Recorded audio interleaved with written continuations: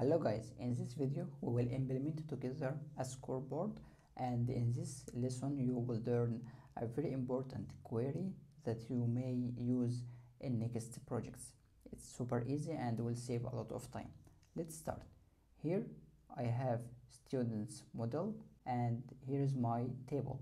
I have name of student and the score in exam for example, right? And here I am displaying them ordered by score. Here in my controller this one here ordered by score desc right?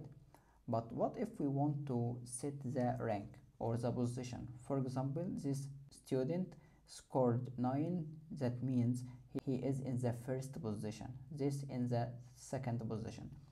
Let me show it here in my blade. I used index right? This one. And when I refresh 0 1 2 3 and I will add plus 1 to index to avoid zeros.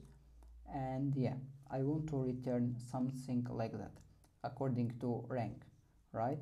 But if I change it this one for example to 9 to be equals like that save and refresh. Now it's not correct because both of them are in the first position so how to fix them? It's super easy. First we will write it in MySQL here in my query right? And I will say select I will select name and score of students right from students table.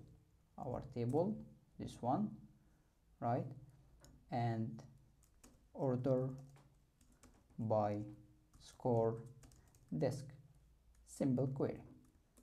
As you see here we have the same result name and score. How to get the rank?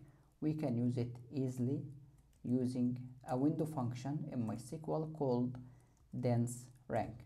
This method it's implemented like that. It's a function right?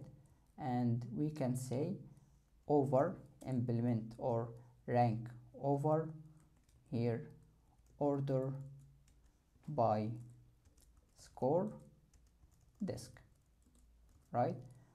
I tell him here to calculate ranks according to score. Let's run our query. And as you see here this one 9 1 and also this one is also 1 second position here third and fourth. Let's create it alias for example as position small position. Refresh. And as you see here these two ones high scores and then both of them is in the first place and others ordered 2 3 4 now let's convert them to laravel query. It's super easy. Back to our controller here and use here select row right and string. Take our query here. Copy all of them. Paste. And because we use student model we don't need to use from students here right? And also we order here by score in this function so we don't need it also right and because we use selectRaw method we don't use this select word here right? Back again refresh and set our rank or our position because we use it as position here. So we will use student position instead of that. Student position refresh and here is our correct results if you found this tip useful support me by clicking on like share and subscribe See you in next videos.